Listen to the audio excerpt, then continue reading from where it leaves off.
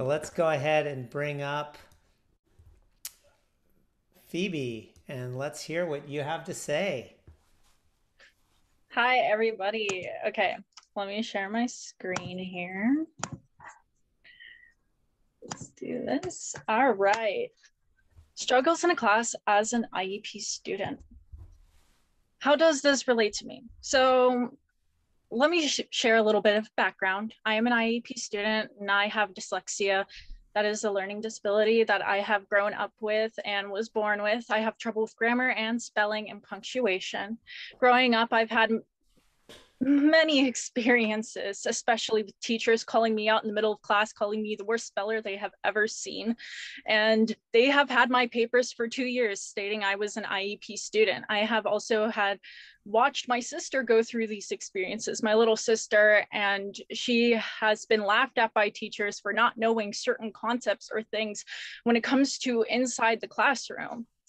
So, solutions I want this as more of an educational tool. I, I want to write a book on IEP students' experiences in the classroom when it comes to teachers and students. I do not want this to bash anybody. This is not to, to bash anyone's past experiences of how people have dealt with certain experiences when it comes to students with learning disabilities. This is purely an educational tool that I want teachers to take and be like, hey, this is what happened in the past, but we can improve this why me? Well, not many people really talk about what happens in the classroom as an IEP student. People usually brush it off or say, okay, let's focus on how I how these people with learning disabilities are dealing today in everyday life when it comes to transportation or in the workforce, but no one really talks about how they deal with it in our schools. And students are growing and their minds are developing. And this is the most important time to really talk about it and really change something about it.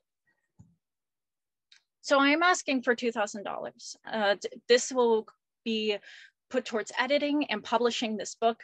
I want art implemented. I want a, I want a audio book so kids who are visually impaired can listen to. I, I actually uh, reached out to friends online and I asked for experiences and things they have gone through.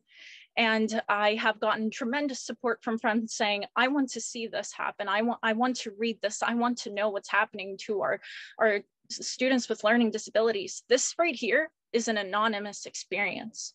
That at the bottom is what a principal said to a student with a learning disability, someone who has extra time on assignments was denied this and given a zero on their project and told that it was an inappropriate message to say that hey i i don't think i should get a zero on this. I have extra time. That's what my iep states.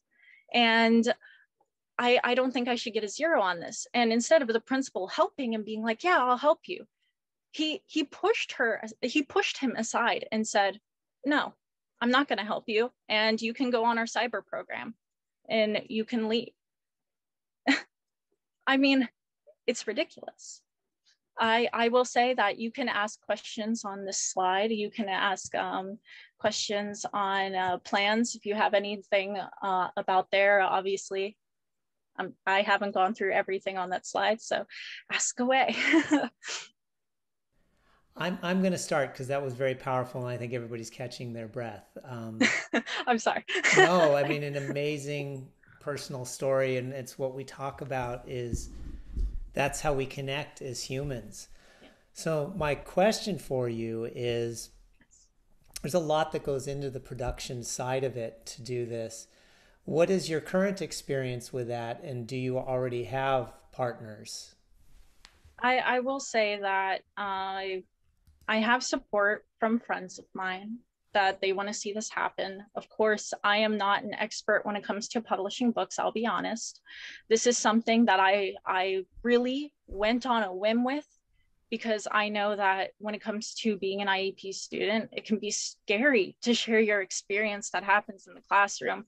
One of the experiences that I shared in a past video was that our IEP class was put into a closet to learn, and we had this small room, a literal janitor's closet to learn in my middle school year. And I, I, it was appalling because they could have put us into a cafeteria to learn and they could have put our supplies in the janitor's closet. I will say they were making over the school at the time, but there were different options they could have taken besides that option. I I want this to be known because IEP students don't really have a voice. I am someone who knows that because my older sister was told she was a broken down car while her friends were limousines. It's appalling. And it needs to be known. My little sister is going through these same experiences I went through. And I don't want anyone to continue having these experiences. And that's why I want to put this book together to be like, hey, this is what's happening. We need to change this. And these are the solutions we can put at the end. So, yeah. I don't think we needed any more questions. Phoebe, I am really excited about this mentoring because I'm not sure if you're familiar with the art of Baron Batch who was a former Pittsburgh Steeler who then turned his talent to art. And I think that the two of you working together to find, you know, and creative ways to express and deliver messaging that is not traditional is just going to be so powerful. And and uh, this, I mean, like I, I'm at a loss of words, which is probably what I should be because we don't need words. We'll find other ways to express emotions. Yes.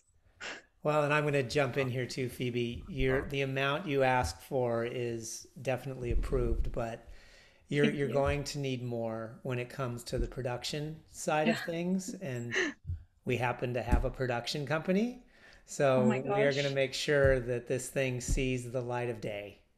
I'm so proud. Uh, you don't understand how proud I am because I've watched my friends go through so many countless experiences, and it's horrible. Thank you. And, and Phoebe, the sparkles definitely helped. Absolutely. Thank you.